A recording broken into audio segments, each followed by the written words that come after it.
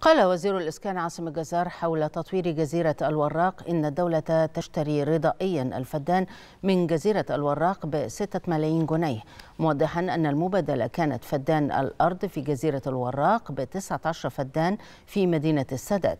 وأضاف في مؤتمر صحفي بمقر مجلس الوزراء بالعالمين الجديدة أنه تم شراء الأراضي رضائيا من أهالي الجزيرة ولم يتم نزع ملكية أحد من أهالي الجزيرة. هنا بسياسة اسمها سياسة الشراء الرضائي. سياسة الشراء الرضائي دي بتنتهجها الدولة في كل مناطق التطوير العمراني اللي بتتم. إحنا بندفع في جزيرة الوراق للفدان الزراعي ستة مليون جنيه. بنشتري رضائيا من الناس الفدان بستة مليون جنيه. في حلول أخرى. اللي عايز أراضي زراعية بنتيح له حاجة من الاتنين.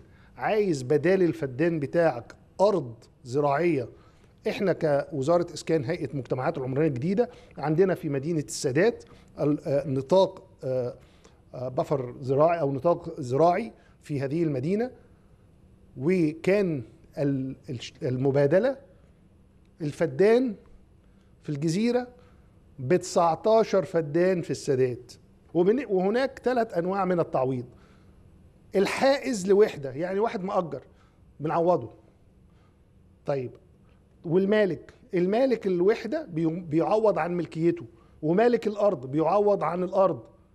وبالتالي انت بتعوض الحائز واحد مؤجر وحده بتديله التعويض والتعويض محسوب بالشقة السكنية وفقا لتقدير جهات التقييم في اللجنة الرباعية وهيئة المساحة. ده بالإضافة إلى تعويض اجتماعي لكل وحده